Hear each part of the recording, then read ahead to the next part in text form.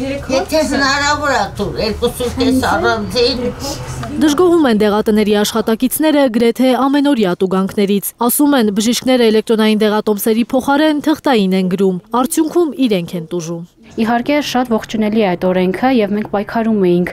որպեսզի մենք նույնիսկ զանգահարում էինք բժիշկներին, խնդրում էինք, որ դուրս գրեն էլեկտրոնային դեղատոմսեր, բայց իրենք ասում են, որ այդ կայքը չի աշխատում, իրենք էլ չեն կարող հիվանդներին առանց դեղորայքի թողնել։ Ավելի քան 8 ամիս է անցել on-line դեղատոմսերի համակարգի ներդրումից, բայց Արմետ համակարգը կամ աշխատում է խափանումներով, կամ առհասարակ չի աշխատում, ասում են փակողում հայտնված դեղատներում։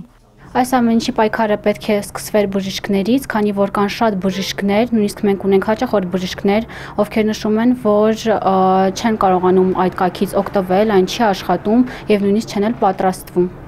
Անկախ դեղատների ասոցիացիայի նախագահը հիշում է, մարտի 1-ից երբ ուժի մեջ մտավ էլեկտրոնային դեղատոմսերի համակարգը, ծեծել են առողջապահության նախարարության դռները, որ աշխատող հարթակ ստեղծեն նոր անցնեն կառավարության որոշմամբ սահմանված 470 դեղերի բացառապես on-line վաճառքին։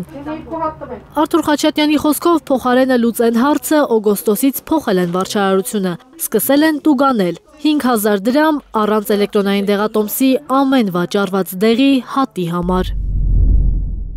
մենք գրում ենք խնդիրը բարձրացնում ենք կառավարություն, կառավարությունը ուղարկում է լիազոր մարմնի իրենս առողջապահության նախարարության, առողջապահության նախարարությունը պատասխանում անենց, որ երևի են գժեշտո կագդայի բոլոր ժողովուրդը հավաքվեն, չեն հասկանա թե իրենք ինչ են պատասխանում։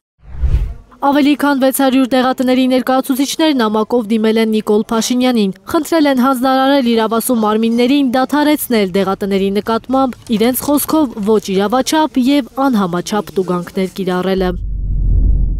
Ու սկսեցին տուգանել դասխաբաշխական թվեր, հա, արդեն իսկ մի ցանցի վրա գրել են 116 միլիոն դրամի Տուգան, այո։ Իսկ քաղաքացիները շարունակում են դեղատուն մտնել թղթային դեղատոմսերը ձեռքում բռնած։ Հատկապես տարեցները խուսափում են հիվանդանոցային քաշքշուկից, որն իբրև պետք է վերացներ on-line դեղատոմսի համակարգը։ Ամեն դեղի համար բժշկի գնալ չեն կարող, ասում են դեղատներում իրենց ավելի լավ ու արագ են օգնում։ Դեղատոմսն է, բայց ամենաստարված սա է։ Դեղատոմսով։ Ինքը հա, դեղատոմսով։ Բայց ես վարել եմ առանց դեղատոմսով։ Դիմել եք բժշկի էլեկտրոնային։ Հա, օպերացիա չէ, չեմ դիմել։ Օպերացիա արված աչք ջերմերս, այսօր ալերգիկ մանկավություն ուտես։ Եկեք այս անգամ առաջ ենք տանք, բայց Հա, բայց պետքա բժշկի, որ ինքը էլեկտրոնային դեղատոմ։ Եղա, բարես է։ Հա, պետքա գնաս բժշկի, բժիշկը ուղարկի նորից քեզ աչքի բժշկի, աչքի բժիշկը նոր, ասենց դառնում է մի հատ վազնիա, դրա համար մարդ ես։ Գիտես, որ դա քեզ պետքա։ Դեղորայքի վրա հակին գումար են ծախսում, էլի թե ես թե կինս ես իրա նոր նոր 12000-ի առևտուր եմ արել դեղորայք եմ արել էլի հասկանում եք եթե գիտեմ գլխացավ ասենք հազիս համար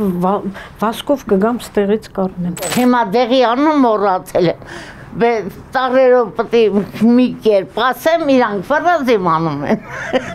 Դեղատոմս դուրս գրող շատ բժիշկներ ընդունում են, որ համակարգը խնդիրներ ունի, ինչի պատճառով հիվանդանոցներում հերթեր են կուտակվում։ Իրենք էլ ստիպված թղթային են անում նշանակումները։ Առողջապահության նախարարությունից խոստանում են երկուշաբթի արձագանքել։ Նախարարությունը չի աշխատում շաբաթօրը։ Չի աշխատում համա։ Զարուհի Սահակյան, Նորայ Շարբաթյան, Միլենա Պողոսյան եւ Հարություն Մաթեվոսյան, Հայլուր։